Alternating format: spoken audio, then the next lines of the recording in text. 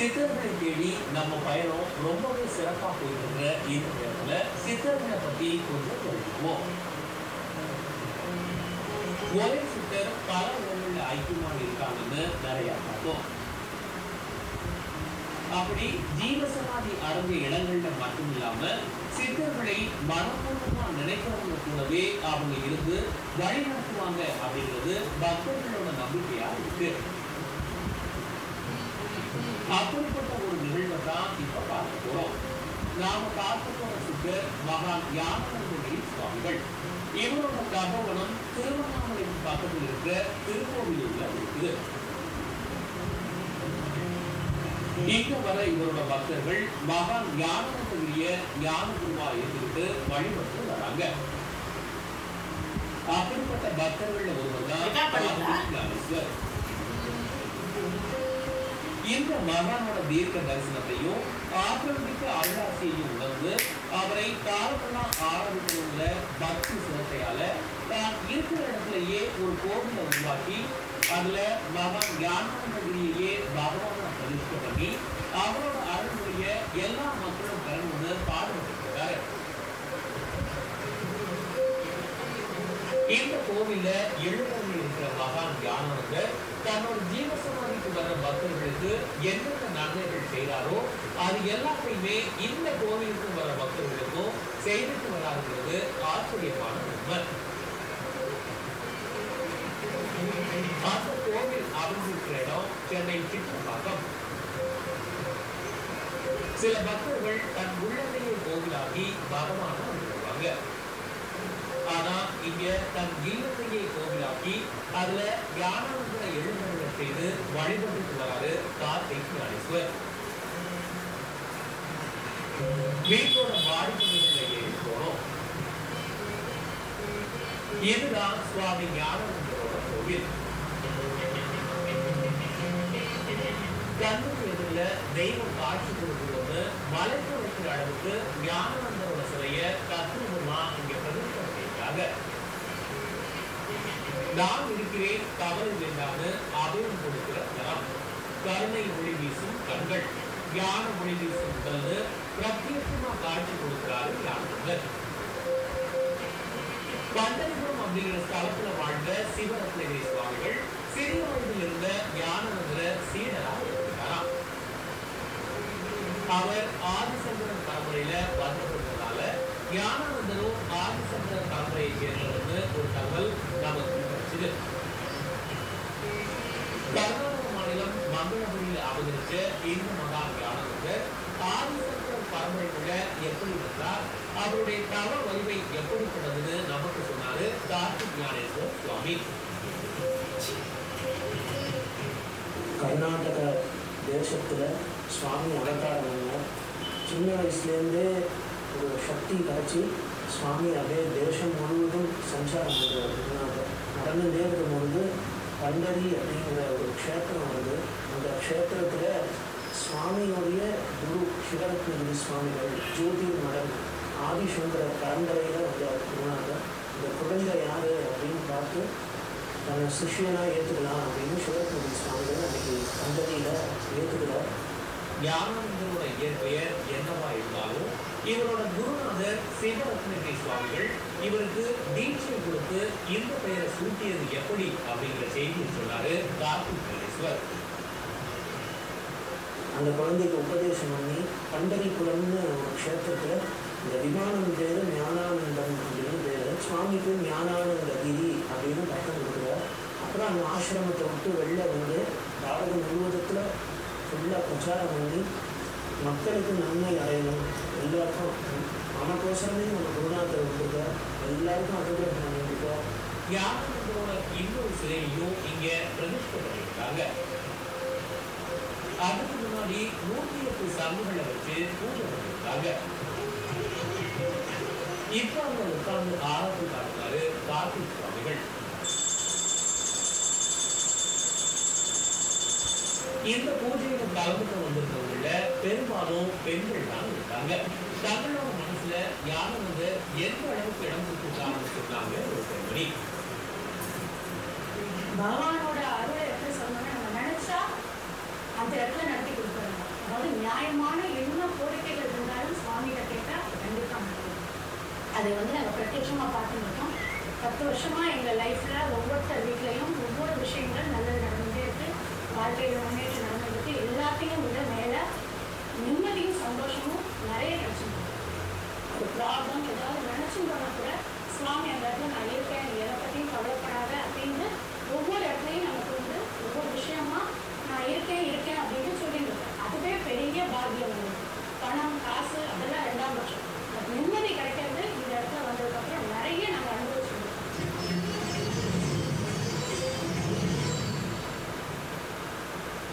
As for the உங்கள் இல்லங்களில் நடக்கும் என்ன கோரிக்கை வச்சாலும் அது நியாயமா அப்படின்னா உடனே நிறைவேற்றி தருவாரு ஞானவந்த சுவாமிகள் சொல்றது நமக்கு ஆச்சரியமா இருக்குது இன்னொரு பெண்மணி ஞானவந்தர் அப்படிங்கிற வார்த்தையே தாரக மந்திரம்னு சொன்னது நமக்கு ஆனந்தத்தை தரதா இருக்குது. ஞானானந்தம்ங்கிற பேர் தான் எங்களுக்கு வந்து தாரக மந்திரம் மாதிரி என்ன பிரச்சனையோ என்ன மன கஷ்டமோ எதுவானாலும் ஞானானந்தா அப்படின்ட்டு அவர்கிட்ட தான் சொல்லுவோம். அவர்கிட்ட சொல்லிட்டு ஞானானந்தா நீ பார்த்துக்கோ உன்கிட்ட எல்லாமே நான் விட்டுடுறோம் மனுஷ புத்தி அப்பப்போ அலைப்பாயுது அப்பப்போ வந்து அல்லாடுது ஆனால் நீ இழுத்து பிடிச்சிக்கிட்டு உன் பாதத்தில் எங்களை வச்சுக்கிட்டு எங்களுக்கு அருள் பண்ணி ஆயுசு பரியந்தம் இப்படியே உன் காலத்தில் உன் பாதத்தில் இருந்து எங்கள் வாழ்க்கையை நல்ல விதமாக முடிக்கிறதுக்கும் எங்களோட நியாயமான கோரிக்கைகள் எல்லாத்தையும் நீ வந்து ஆசீர்வதிக்கிறதுக்கும் நான் வந்து உங்களை ரொம்ப வேண்டி கேட்டுக்கிறேன் இங்க ஞானவந்தரோட உற்சவம் கூட்டம் அந்த உற்சவம் கூட்டத்துக்கு அபிஷேகம் செய்தாரு கார்த்திக் சுவாமி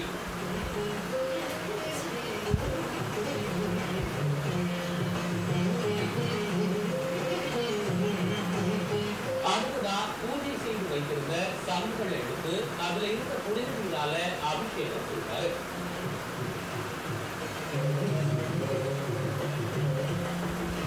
இந்த நேரத்துல அங்க இருந்த அத்தனை பேரும் யானவர்களோட புகழை பாடும் பஜனை பாடல்களை பாடி இந்த ஆலயத்தையே ஆன்மீக பரவசம் நிறைஞ்சலாம் மாற்றுறாங்க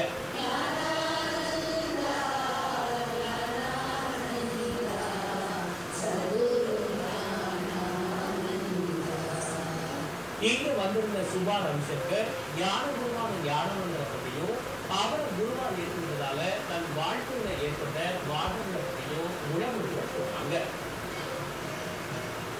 குருவருள் இல்லை என்றால் திருவருள் இல்லை அப்படின்னு எல்லோரும் சொல்றாங்க இல்லையா? அப்படி எங்கள் அனைவருக்கும் குருவாக இருந்து வாழ்கின்ற தெய்வமாக திருக்கோவிலூரில் காட்சி கொடுக்கின்ற ஞானானந்தகிரி சுவாமிகள் இங்கே சென்னையில் இந்த இல்லத்தில் தத்ரூபமாக பிரத்யட்சமாக எழுந்தருளி இருக்கிறார். என்ன பொறுத்தவரையில் ஞானானந்த சுவாமிகளை மானசீகமாக குருவாக ஏற்றுக்கொண்டதுனால என்னோட வாழ்க்கையில எத்தனையோ மாற்றங்கள். பகவானுடைய அவருடைய தாரக மந்திரம் அப்படின்னு சொன்னாலே மகிழ்வித்து மகிழ். நீ சந்தோஷப்படுறது இல்லாம மற்றவாளையும் சந்தோஷப்படுத்து. அதுதான் இந்த கிரகத்துல பாகவதர் கார்த்திக் ஞானேஸ்வர் அவருடைய குடும்பத்துல அவளும் அவளுடைய அப்பா அம்மா அவளோட குழந்தைகள் அத்தனை பேரும் பண்ணிட்டு எல்லோருக்கும் நல்லது நடக்கணும் அப்படிங்கறத பண்ணிட்டு இருக்கா இன்றைய சூழல்ல எல்லாருக்குமே மன உளைச்சல் இருக்கும். அந்த மன உளைச்சலை மாற்றக்கூடிய மகிமை ஞானவந்தர்கிட்ட இருக்கிறதா சொன்னாங்க ஒரு பெண். நம்ம வந்துட்டு எப்போ மென்டலி ரொம்ப ஸ்ட்ரெஸ்டாகவோ டிப்ரெஸ்டாகவோ இருந்தால் ஒரு ஃபைவ் மினிட்ஸ் நம்ம கண்ண முடியும் முன்னாடி உட்காந்து நீயே கதி அப்படின்னு சொல்லிட்டு நம்ம எப்போ சரண்டர் பண்ணிக்கிறோமோ அதுக்கப்புறமா அது சொல்லி பீஸ் ஆஃப் மைண்ட் அதுதான் நான் சொல்ல விருப்பப்படுறேன். நம்ம பெரிய பூஜையோ இல்லை எலாபரேட்டான கீர்த்தனையோ பாடணுங்கிறது இல்லை. ஸோ நம்ம வந்துட்டு ஃபைவ் மினிட்ஸ் டோட்டலாக நம்ம எப்போ சரண்டர் பண்ணிக்கிறோமோ அப்போவே எல்லா ப்ராப்ளமும் நம்ம விட்டு போயிடுவது உற்சவ மூர்த்தத்துக்கு அபிஷேகம் பண்ணி அலங்காரம் முடித்து நைவேத்தியம் பண்ணினாரு கார்த்திக் சாமி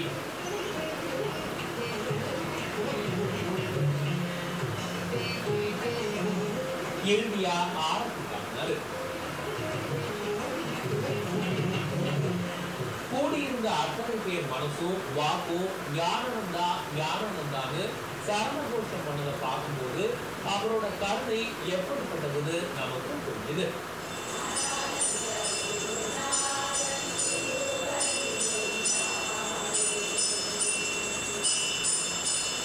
ஞானவந்தரோட சன்னதி இங்கு அமைஞ்சது எப்படின்னு சொல்ல வந்த கார்த்திக் சாமி இங்கு வர பக்தர்கள் தங்கள் கோரிக்கைகளை சீட்ல எழுதி வைக்கிற நடைமுறை பற்றியும் சொன்னாரு? ஆயிரத்தி தொள்ளாயிரத்தி எழுபத்தி நாலில் குருநாதர் வந்து விதேக சமாதி நிலையில் சமாதி ஜீவ சமாதி அடைந்த எனக்கு கிடைச்ச ஆனந்தம் இன்பம் எல்லாமே எல்லாருக்கும் கிடைக்கணும் அப்படிங்கிற ஒரு ஆசையில் சிட்லப்பாக்கத்தில் குருநாதருடைய சன்னதி அமைஞ்சிருக்கு. இப்போ இன்னைக்கு வந்து என்ன விசேஷம் அப்படின்னா கலசாபிஷேகம் நடக்கிறது. வியாழக்கிழமை தினந்தோறும் சுவாமிக்கு காலங்கிற அபிஷேகங்கள் தப்பவன வழிபாடு அன்னதானங்கள் அந்த மாதிரி நடந்துருக்கு இங்கே அப்புறம் இங்கே வரக்கூடிய பக்தாள் பக்தர்களுக்கு தன்னுடைய பிரார்த்தனை எழுதி சுவாமி கிட்ட அது உடனே பூர்த்தி ஆகிடுது இந்த சுவாமியுடைய அனுகிரகத்தில். ஞானவந்தர் வைக்கிற கோரிக்கைகளை அவர் நிறைவேற்றி வைக்கிறதா எல்லாருமே நம்புறாங்க. அப்படி எப்பவோ தான் வச்ச கோரிக்கைய சுவாமி நிறைவேற்றி கொடுத்ததா கண்ணீரோட சொன்னாங்க கார்த்திக் சுவாமியோட மனைவி. சின்ன வயசுலேருந்தே எனக்கு வந்து பகவானோட நாம சங்கீர்த்தனம் பாட்டு பஜனைலாம் அவ்வளோ இன்ட்ரெஸ்ட்டு என்னோட ஆசை என்னன்னா சின்ன வயசுலேருந்து கல்யாணம் பண்ணினா ஒரு அப்படின்ற ஒரு ஆசை தான். அவங்க போய் அவங்ககிட்ட ஒரு சின்ன பிரார்த்தனை தான் நான் வச்சுருந்தேன் அன்னைக்கு வந்து பேசி முடிச்சாச்சு அதுக்கப்புறம். அதுக்கப்புறமா வந்து சுவாமியோட ஒரு ஃபுல் ஒரு அவரோட ஒரு பரிபூர்ண ஒரு ஆசீர்வாதத்தினால தான் எனக்கு இவர் கிடைச்சாரு அப்படின்றத சொல்லி சொல்லிக்கிறது வந்து நான் ரொம்ப சந்தோஷப்படுறேன் நான். இவரோட சேர்ந்ததுலேருந்து இங்கே வந்து பகவான் பகவத் சத்காரியம் மட்டும்தான் நடந்துட்டு இருக்கு என்னோட ஆசை அவருக்கு ஃபுல்லாக அவருக்கு சப்போர்ட்டாக இருந்துட்டு அவர் பண்ணுற நல்ல விஷயத்துக்கு எல்லாம் வந்து ஹெல்ப் பண்ணணும் அப்படின்னு சுவாமி வந்து அதுக்கான பரிபூர்ண ஃபுல் அவரோட இதெல்லாம் அவர் கொடுத்துருக்காரு. மேலும் இன்னும் கொடுக்கணும் அப்படின்னு அவர்கிட்டயே நான் வேண்டிக்கிட்டேன்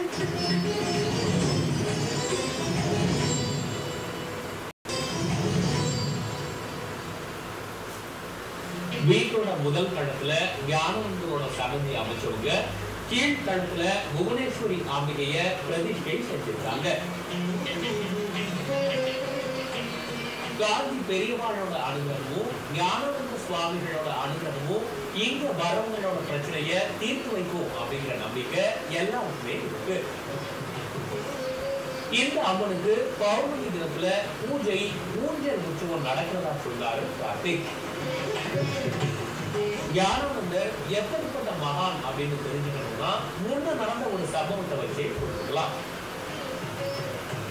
அதாவது லட்சக்கணக்கான பக்தர்களால் போற்றப்படுற யோகி ராம் சுரத்குமார் அப்படிங்கிற விசிறி சாமியார் ஞானவந்தர் கிட்ட ராமநாம உபதேசம் வாங்குறதுக்காக வந்ததை சொன்னாரு கார்த்திக் சுவாமி. யோகிராம் சிவகுமார் மகான்னு ஒரு பெரிய திருவண்ணாமலையில் இருந்த ராமநாம உபதேசம் வாங்கிக்கணும்னு சுவாமி யோகிராம் சிவகுமார் ஆசைப்படுறார். இந்த மகான் வந்து சொல்கிறார் ஞானானந்தகிரி சுவாமிகள் உனக்கு நீ வந்து ரமணரை போய் பாரு அப்படிங்கிறார். அங்கே போகும்போது ரமணர் விஷயம் ஒன்றும் சொல்லலை. கடைசியாக திருப்பியும் வர அந்த சுவாமியுடைய அப்போ தான் யோகி யோகிராம் சிவகுமார் சொல்கிறார் ஞானானந்த ஞானானந்த சத்குரு ஞானானந்த. இந்த மகாமந்திரம் யோகிராம் சுரத்குமார்